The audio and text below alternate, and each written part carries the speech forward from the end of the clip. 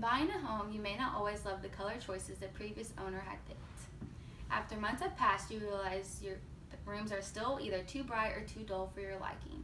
Today I will teach you how to paint a room no matter the size or color. I will give you easy step-by-step -step tips to follow, all the supplies you will need, along with pictures to show you you are doing everything you need to get the perfect room to desire. Your first step is to gather your supplies. You will need two rolls of blue painter's tape, an angled sash brush, a screwdriver, wet washcloth, a paint roller, painting tray, a gallon of paint, spackle, and spackle putty. The next step is to wipe all the walls off to get all excess dust so the paint goes on more evenly along with the trim so the tape sticks better. The next step is to remove all outlet covers. After that, you need to spackle all holes you have taken the nails out of so the paint goes on more evenly. If there's any chipped paint, go ahead and scrape that off so the paint goes on smoothly. The next step is to tape all walls around door frames, trim, and outlets.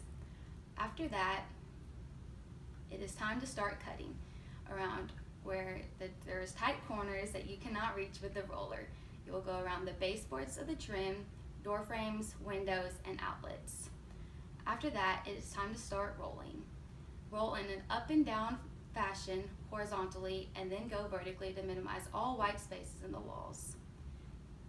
Always end in a downward motion so the paint ends up more evenly and smooth in the end. After that, it is time to let the walls dry. When the walls are all dry, it is time to take off the tape. When taking off the tape, do so very slowly so you do not rip off any of the paint on the walls. If it is dripping, be sure to wipe the baseboards quickly. After that, it is time to wash the brushes.